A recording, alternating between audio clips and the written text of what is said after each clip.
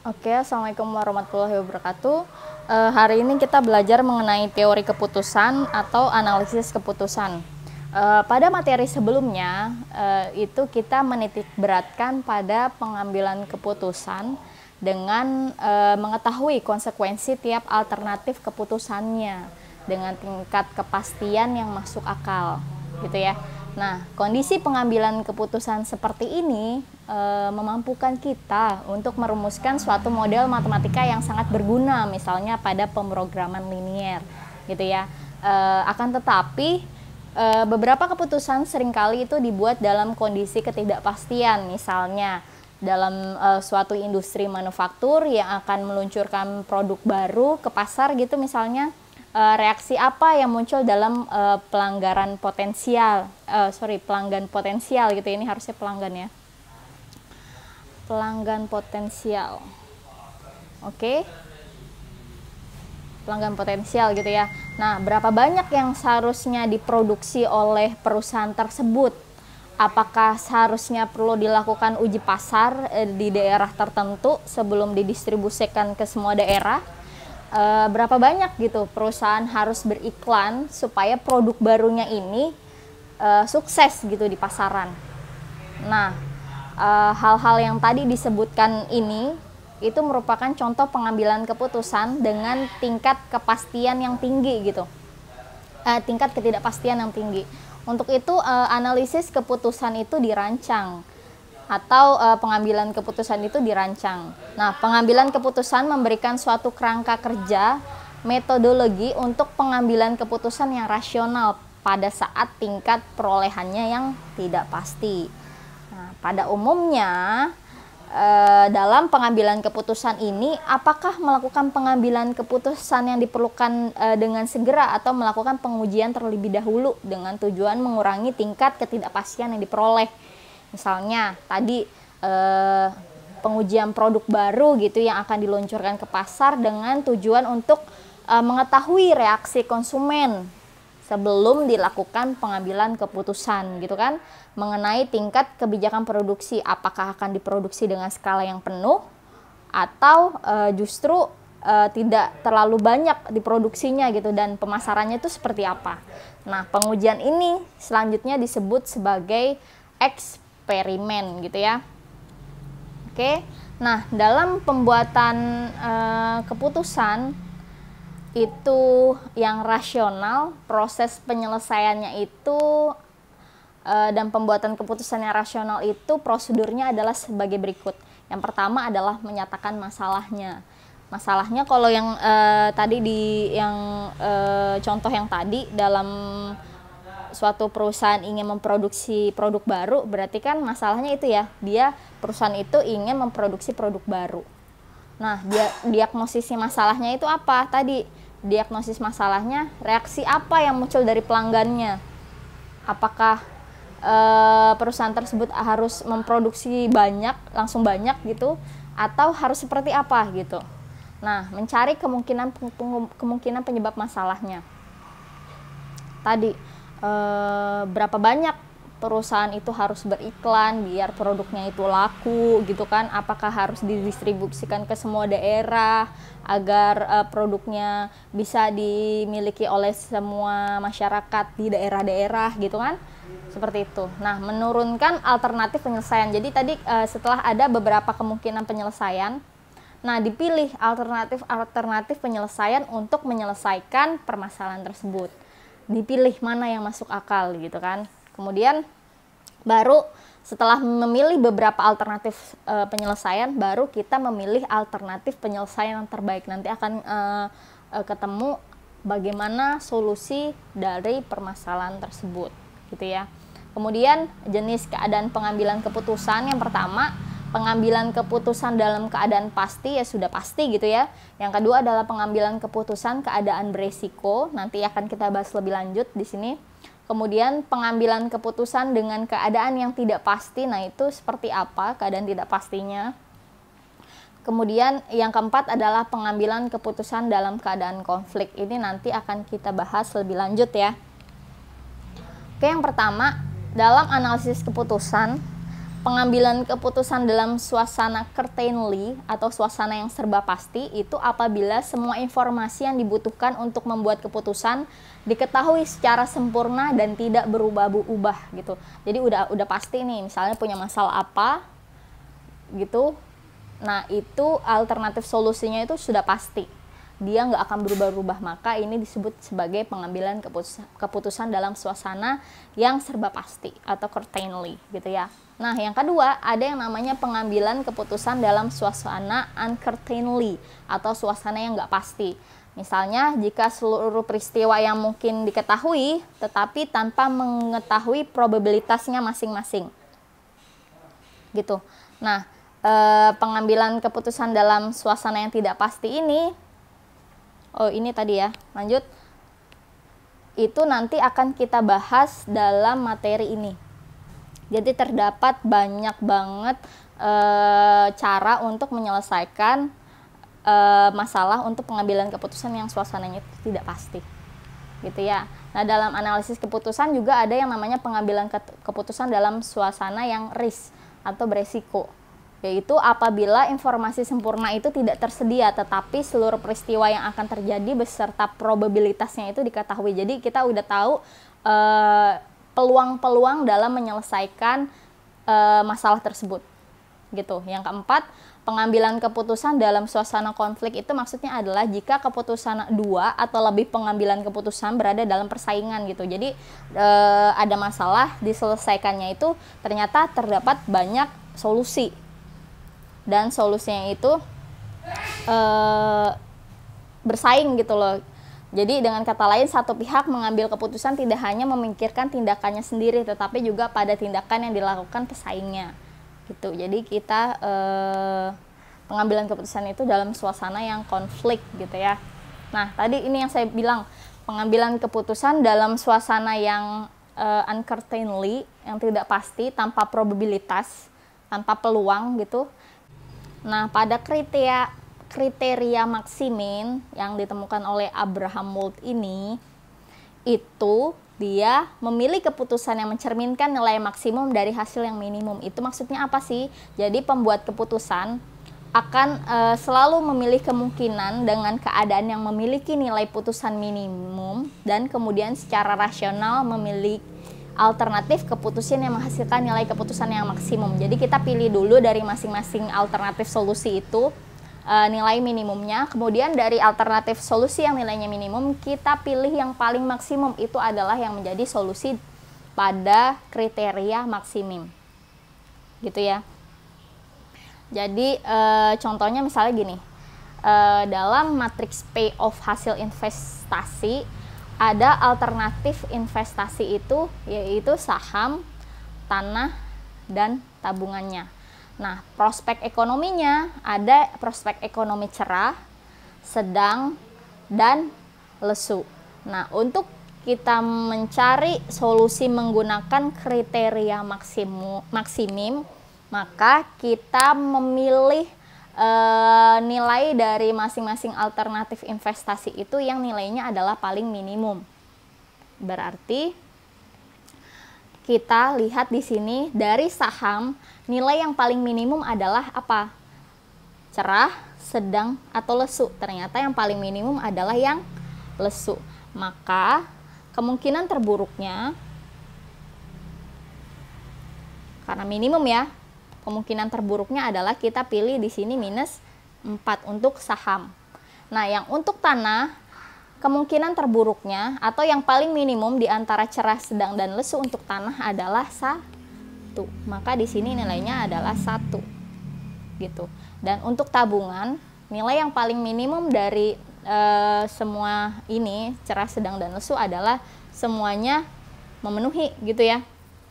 Maka ini li 5 nah kalau sudah seperti ini maka kemungkinan terburuk atau pemilihan alternatif terburuk dari Eh, kriteria maksimin ini adalah kita lihat yang paling maksimum yaitu adalah 5 sehingga kalau kita lihat di sini maka e, solusinya adalah e, kita memilih hasil investasi yaitu berupa tabungan yang memiliki prospek ekonomi yang paling baik gitu ya. Jadi solusinya adalah tabungan. Namun di sini kelemahan dari kriteria maksimin adalah tidak memanfaatkan seluruh informasi yang tersedia gitu, yang merupakan ciri pengambilan keputusan yang modern. Gitu ya. Kemudian uh, untuk kriteria maksimax ini kebalikan dari yang namanya uh, kriteria maksimin gitu. Dalam kriteria maksimax ini untuk memilih alternatif yang merupakan nilai maksimum dari payoff yang maksimum. Nah, kebalikan ya dari uh, tadi uh, di dalam maksim maksimin. Jadi kalau maksimax itu berarti kita cari nilai maksimum dari masing-masing alternatif uh, solusinya. Kemudian kita pilih lagi yang paling maksimum dari alternatif solusi yang tadi sudah kita pilih. Gitu. Oke, berarti kita lihat di sini contohnya sama seperti tadi, berarti keputusan yang terbaiknya adalah kita lihat yang paling maksimum dari alternatif investasinya. Untuk yang saham nilai maksimumnya adalah 10 ya. Maka di sini nilainya adalah 10 gitu. Untuk tanah nilai maksimumnya adalah 8 sorry saya ganti dulu. Oke ini 8 maka di sini adalah nilai terbaiknya adalah 8 gitu. Oke untuk tabungan nilai maksimumnya adalah 5 semua ya.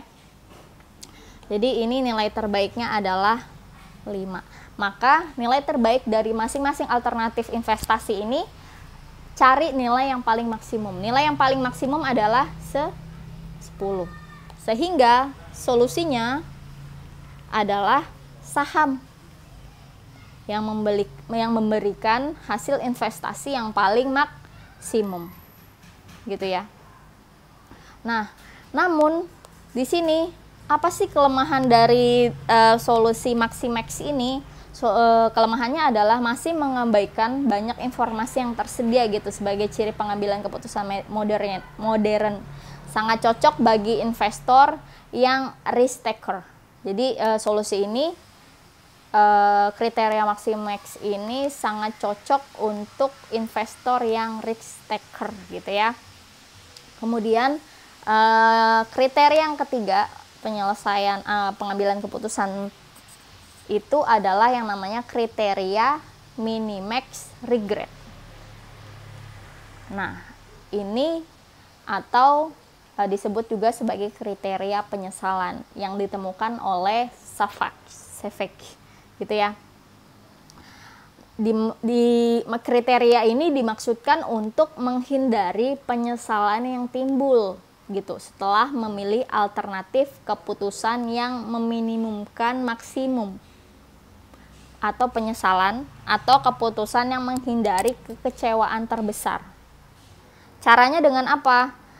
yaitu dengan rumus jumlah regret atau opportunity loss-nya itu sama dengan pi of maksimum dikurangi dengan pi of uh, out untuk peristiwa tersebut.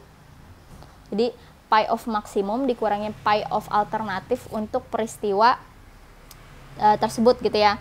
Nah, uh, kita pakai contoh yang tadi aja Oke, untuk kriteria minimax regret ini eh, langkah yang pertama yang harus kita lakukan adalah kita menentukan nilai opportunity loss yang terbesar dari masing-masing alternatif. Jadi kita melihat eh, nilai prospek ekonomi dari masing-masing cerah, sedang dan lesu ini mana nilai yang paling besar. Oke, untuk yang cerah nilai yang paling besar adalah 10 gitu ya untuk yang sedang adalah nilai yang paling besar 6,5 dan untuk yang uh, prospek, prospek ekonomi lesu nilai yang paling besar adalah 5. Maka selanjutnya adalah kita membuat uh, tabel lagi. Uh, kita membuat tabel lagi yang isinya adalah pi of max-nya itu kita kurangi dengan pi of alternatif untuk peristiwa tersebut. Jadi kita pilih kita buat lagi di sini ada saham tanah tabungan gitu ya kemudian ada cerah sedang dan lesu nah berarti kita kurangkan nilai saham kita kurangi nilai yang paling maksimum di cerah berarti kan 10 dikurangin 10 gitu ya. Maka atau saya tulis di sini adalah 10 kurangin 10 adalah 0 gitu ya. Nah untuk yang tanah berarti tinggal 8 dikurang eh sorry 10 dikurangin 8 sama dengan 2 kemudian untuk yang tabungan berarti tinggal 10 dikurangin 5 oke 10 dikurangin 5 adalah 5 gitu ya. Oke untuk yang sedang berarti nilai maksimumnya untuk yang sedang adalah 6,5 berarti untuk saham tinggal 6,5 dikurang 6,5 adalah 0 gitu ya. Untuk tanah berarti tinggal 6,5 dikurangin 6 itu adalah 0,5 dan untuk tabungan berarti tinggal 6,5 dikurangin 5 yaitu 1,5 oke kemudian untuk yang lesu Oke, ini ketutup ya. Oke, untuk yang lesu berarti nilai maksimumnya adalah 5. Maka tinggal e, eh, 5, nilai yang paling besarnya 5 di lesu di, dikurang minus 4. Gitu ya, maka hasilnya adalah 9. Untuk yang tanah berarti 5 dikurangin 1 hasilnya adalah 4 Kemudian untuk yang tabungan berarti 5 dikurangi 5 hasilnya adalah 0. Nah, kemudian dari tabel baru yang sudah kita peroleh ini kita cari nilai yang paling maksimumnya. Jadi saham e, 009, tanah 2 0,54, tabungan 5 1,50. Mana nilai yang paling maksimum dari masing-masing saham tanah dan bangunan?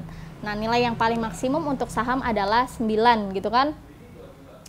Maka di sini adalah kita tulisnya maksimum regret. Gitu ya. Nah, untuk yang ini saham nilai maksimumnya adalah 9, untuk yang tanah nilai maksimumnya adalah 4. Gitu ya. Maka di sini kita tuliskan 4. Dan untuk tabungan nilai maksimumnya adalah dari 5 1,5 dan 0 nilai maksimumnya adalah 5. Maka di sini kita tulis 5. Oke. Nah, karena ini namanya adalah kriteria minimax regret, maka kita cari nilai yang paling minimum dari uh, maksimum regretnya itu. Ternyata nilai paling minimumnya adalah 4. Berarti kesimpulan dalam uh, regret maksimum adalah solusinya yang dipro, yang didapatkan yaitu tanah gitu ya. Kemudian kriteria selanjutnya adalah kriteria Hurwitz atau kompromi antara maximax dan maksimim. Ini eh, ditemukan oleh yang namanya Leonid Hurwitz, makanya namanya adalah kriteria Hurwitz gitu ya. Nah, kriteria ini menunjukkan suatu perpaduan antara kriteria maksimin dengan kriteria maksimax gitu. Namun pada kenyataannya pengambilan keputusan yang jarang sangat e, pesimistik ataupun sangat optimistik gitu kan. Pengambilan keputusan yang tepat biasanya memperlihatkan suatu campuran antara pesimistik dan optimistik. Jadi kita mempertimbangkan e, mempertimbangkan keputusan yang memperlihatkan pesimistik dan optimistik gitu ya.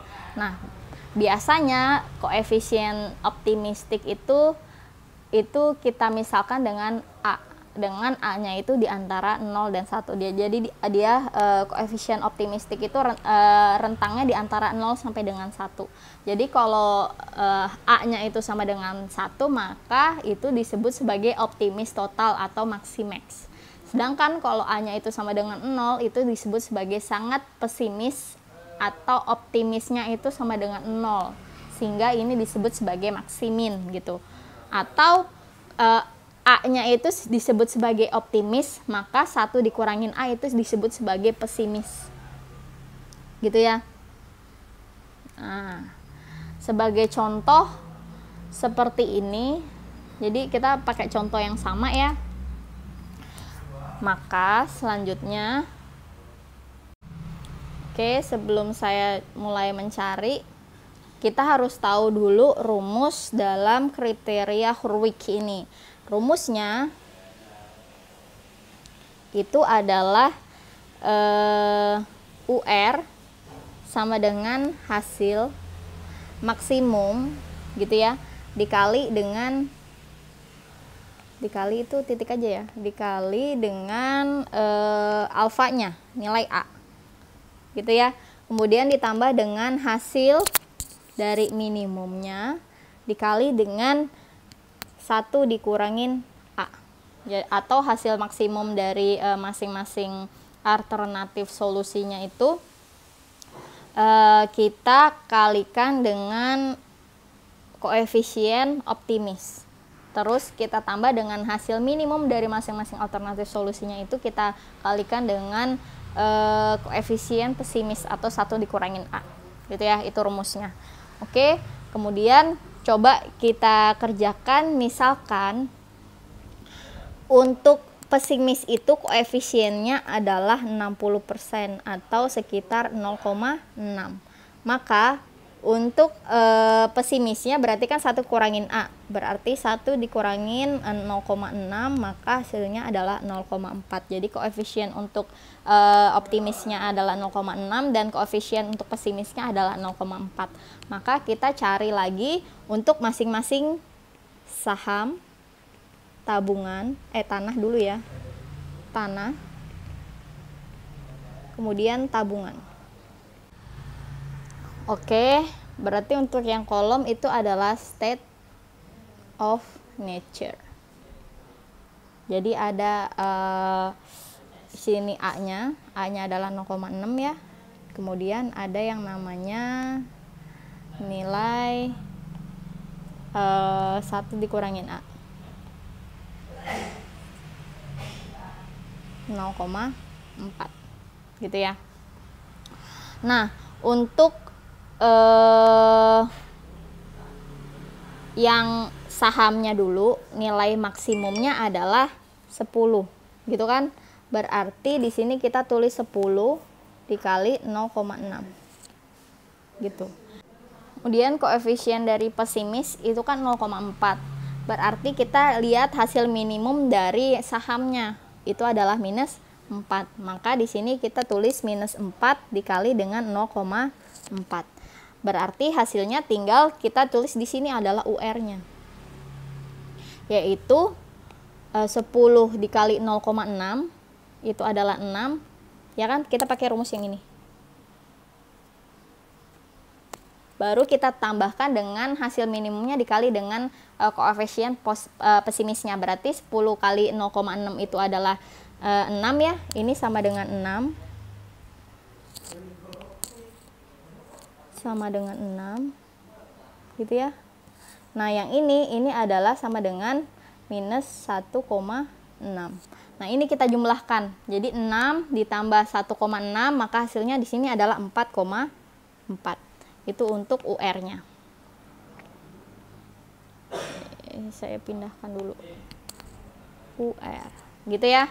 Nah untuk tanah sama. Untuk tanah kita lihat nilai maksimum untuk uh, tanah prospek ekonominya nilai maksimumnya adalah 8 maka di sini kita cari 8 kita tulis 8 dikali 0,6 maka hasilnya adalah 4,8 gitu ya.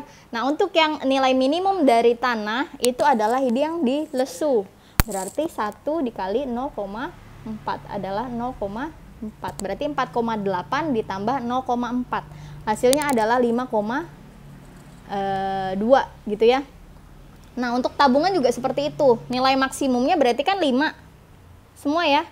Berarti 5 dikali 0,6 hasilnya adalah 3 dan nilai minimumnya juga 5 gitu kan berarti 5 kali 0,4 hasilnya adalah 2 berarti ini ketika dijumlahkan nilainya adalah 5 nah setelah itu baru nih kita cari nilai yang paling apa yang paling maksimum untuk nilai UR-nya.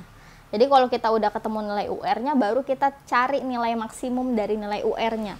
Ternyata nilai maksimumnya adalah 5,2. Berarti solusinya yang dipilih adalah tanah yang memberikan e, hasil investasi yang paling baik gitu ya.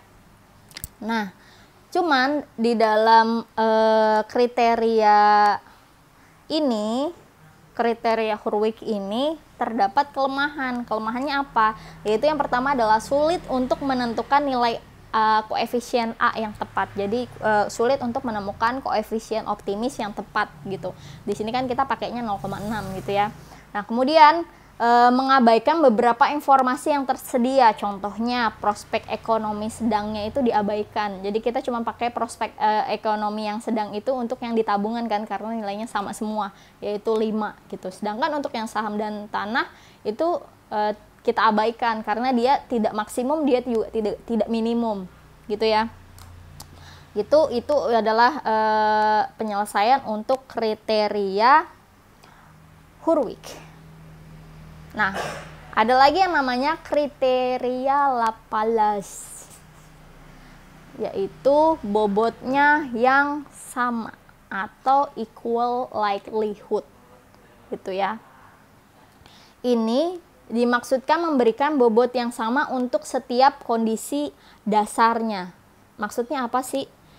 Jadi eh, Lapalas ini menginterpretasikan kondisi ketidakpastian gitu untuk sebagai se sebagian setara dengan menganggap bahwa seluruh kejadian atau keadaan memiliki kesempatan yang sama untuk terjadinya uh, atau equal likelihood. Jadi kita uh, mem memisalkan semua alternatif solusi itu memiliki peluang yang sama. Jadi kita tinggal membaginya e, membagi penentuan probabilitas kemunculannya itu dengan 100 per n. Jadi ini saya tambahkan e, new slide gitu. Jadi e, langkah yang pertama langkah-langkahnya. Yang pertama itu adalah kita penentuan probabilitas kemunculan.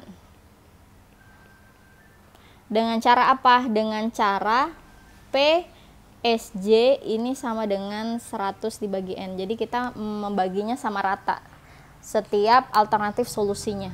Gitu. Yang kedua adalah kita menentukan penentuan nilai harapan.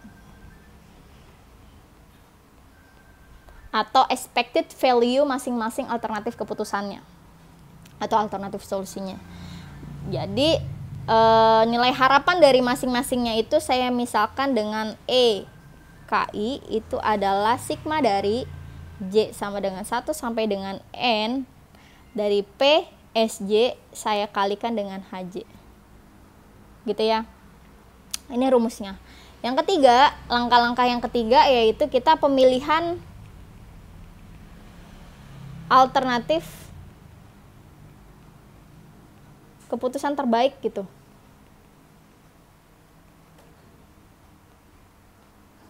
Jadi uh, kita pilih uh, pilihan itu dapat berubah. Jadi EKJ penentuan nilai harapan itu dapat berubah. Maksimum atau minimum tergantung pada nilai yang dinyatakan dalam HIJ gitu. Jika HIJ-nya itu menyatakan laba atau kenaikan pasar e, kenaikan pangsa pasar gitu atau sebagainya maka EKJ-nya itu adalah maksimum.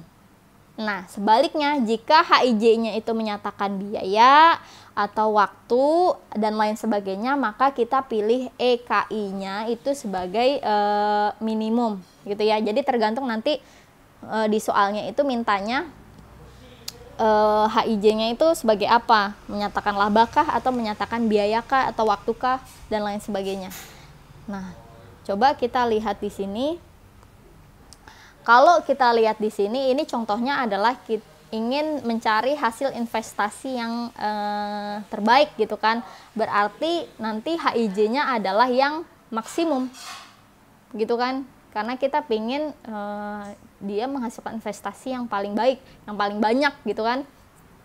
Nah, berarti kita langkahnya yang pertama adalah penentuan tadi nih, penentuan probabilitas kemunculan. Jadi uh, probabilitas kemunculan ini ada cerah, sedang, dan lesu. Berarti kan ada tiga kemunculan.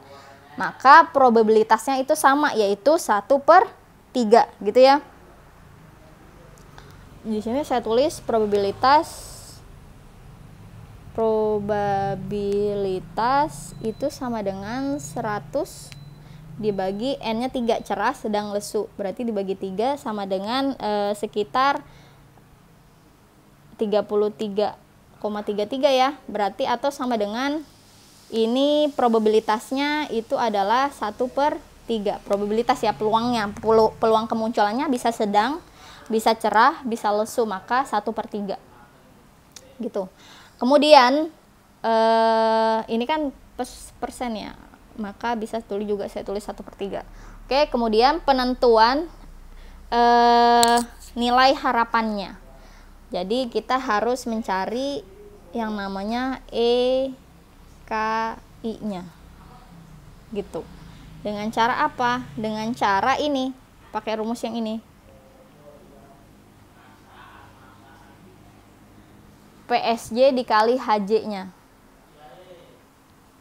berarti setiap e, kemunculannya setiap nilai harapan dari masing-masing saham, tanah, dan tabungan itu kita kalikan dengan sepertiga baru kita jumlahkan. Gitu kan ya? Karena sigma kan?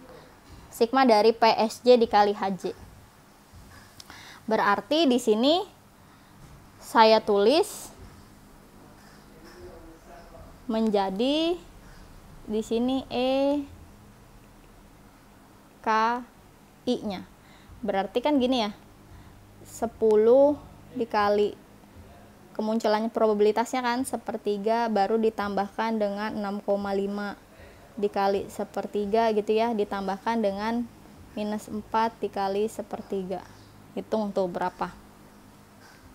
Ternyata setelah dihitung kalau tidak salah hasilnya adalah 4,17 Begitu juga untuk tanah, berarti tinggal 8 kita kalikan dengan kemunculan probabilitasnya sepertiga gitu ya. Ditambah 6 dikali sepertiga, ditambah 1 kali sepertiga. Maka hasilnya adalah eh, 5 gitu. Kemungkinan untuk tabungan juga gitu, berarti 5 kali sepertiga gitu ya, ditambah 5 kali sepertiga, ditambah 5 kali 1 per 3 hasilnya juga 5 nah kemu kemudian karena yang diminta langkah ketiga kan tadi e, ini ya pemilihan e, alternatif keputusan terbaik.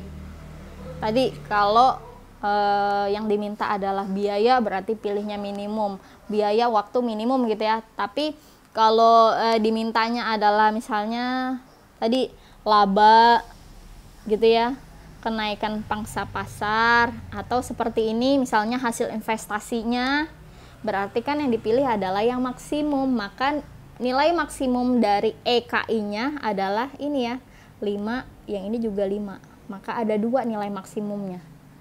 Gitu. Maka solusinya yang dipilih agar hasil investasinya maksimum yaitu tanah atau tabungan yang dipilih gitu. Itu yang akan memberikan e, hasil investasi yang besar gitu. Jadi pemilihan keputusan e, pada kriteria Lapalas ini tergantung pada kepribadian dan filosofi pengambilan keputusan dari masing-masing orang tersebut gitu ya. Oke jadi kalau saya ringkas tadi kriteria untuk maksimin itu membeli, mem, memberikan keputusan eh, kita memilih tabungan sebagai hasil investasi yang terbesar.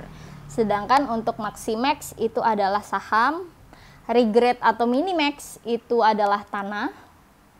Gitu ya.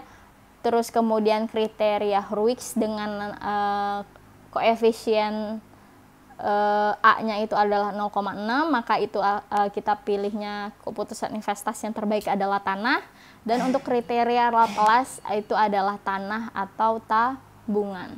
Jadi gitu. Jadi untuk setiap masing-masing kriteria akan menunjukkan uh, keputusan yang berbeda-beda gitu ya. Itu kenapa ini disebut sebagai ini. Nih. Nih pengambilan keputusan dalam suasana yang uncertainly atau tidak pasti gitu ya. Jadi ada lima kriteria dalam e, menentukan pengambilan keputusan dalam suasana uncertainly yang tidak pasti. Seperti itu. Oke, e, cukup sekian penjelasan dari saya mengenai e, teori keputusan atau analisis keputusan. Semoga bermanfaat untuk kalian. Assalamualaikum warahmatullahi wabarakatuh.